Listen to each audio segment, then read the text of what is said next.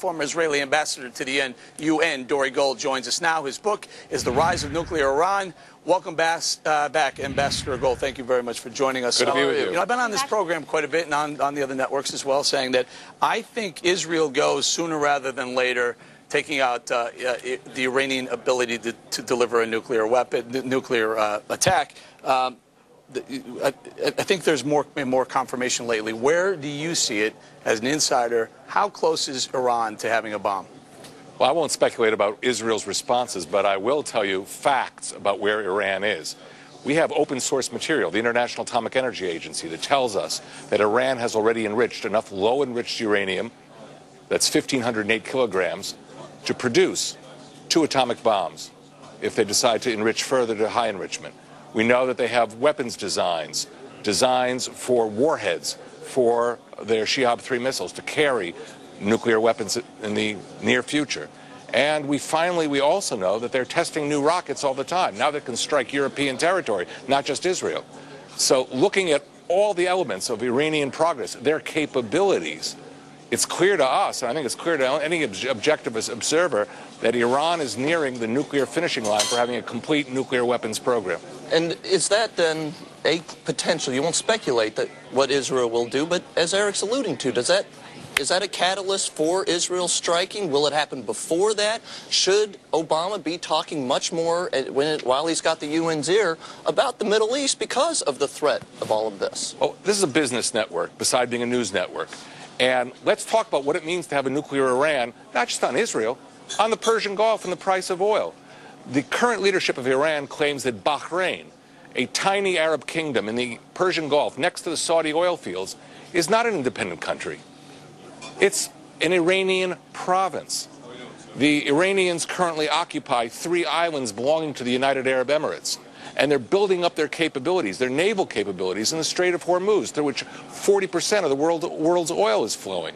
So if you do not focus on Iran, you're not only risking the lives of Israelis, we'll take care of the ourselves. Question, though, is you're Iran, risking the global economy. The nuclear option itself somehow the catalyst. The, the, the, threat is there. All of these things are there. Is nuclear technology the problem? Well, what happens is if you have a passive regime, you know, Belgium gets nuclear weapons, who cares?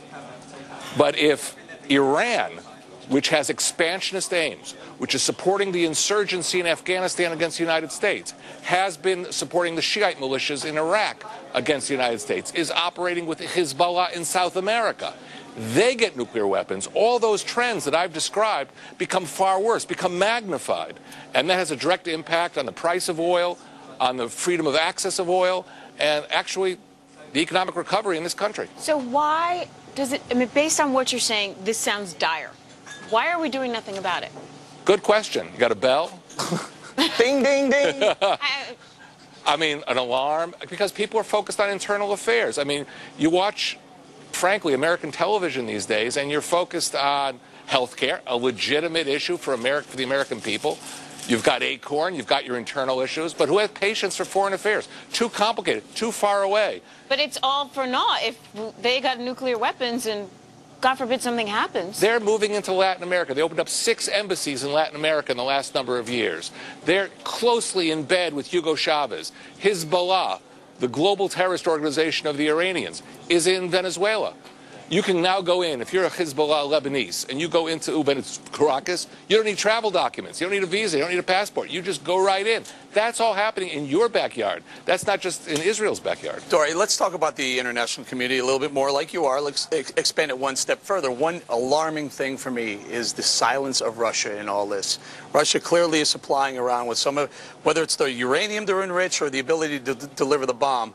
Uh, why are they not stepping up saying, hey, Iran, Ahmadinejad, you're, you're a bad guy. We don't like this anymore, and cut them off. I think the Iranian, uh, excuse me, I think the Russians are making a strategic error that they will pay for. They think if Iran goes nuclear, it doesn't affect them. First of all, they'll tell you if you sit with Foreign Minister Lavrov, show me the evidence that there is a military program. He claims it's civilian. Nonsense. But they think that perhaps because Iran is a Shiite country, and the insurgency they're dealing with in the Caucasus, in Chechnya, and Dagestan, is a Sunni insurgency supported by Sunni countries in the Gulf, like Saudi Arabia. They think it's not their problem. Big mistake. A nuclear Iran, I'm sorry, guys, but real quickly, is it because they want to see a $200 barrel of oil? well, they may want a higher price of oil. That's a good, a good assessment. It's- but I think, I think they're trying to do business. They are, they want the Middle East to become their business backyard because they've lost Eastern Europe. NATO's there now. Fair I enough. think this is much scarier than pretty much anything we're dealing with. I often question whether it's uh, my government's role to make sure that the Middle East, Central America, and everywhere else is safe from nuclear arms. Might be someone else's role. Dore Gold, thank you very much Thank for you, joining us Dore. at the bar on tap, ex-president.